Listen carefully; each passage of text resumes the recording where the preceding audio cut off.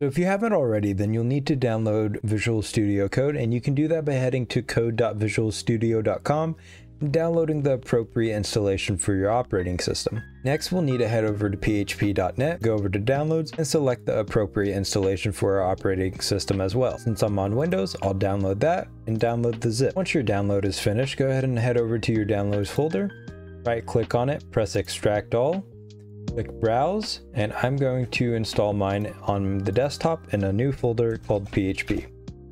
And then I'm gonna go ahead and select that and press extract all. Now once that is done, scroll down until you come here to PHP.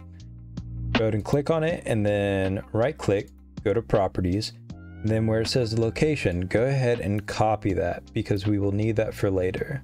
All right, now go ahead and open up your environmental variables and you can do that by just starting to type environment. And this is where we're going to edit our system path, which is going to allow us to access PHP anywhere on our computer. If we click edit, I'm just going to go and replace this one here. Notice it's the file path to the PHP executable but we're not including the .exe. So go ahead and click OK, and then we can go ahead and open up VS Code. Now we'll head over to extensions and download a few. Go ahead and just search up PHP, the first one we're going to download is PHP IntelliSense, which is basically just going to have auto completion and make programming in PHP a lot easier.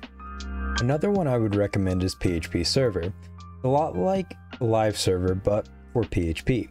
And once you download it, go ahead and click on the settings here and go to extension settings. Here, you'll use the file path that we copied earlier, except here, you'll have to include the PHP executable. But once you've done that, everything is set up. You can actually make a index.php file, and when you press serve project, you'll actually have a server started up that will host your PHP files. Links to all the resources will be down in the description below, and see you in the next video.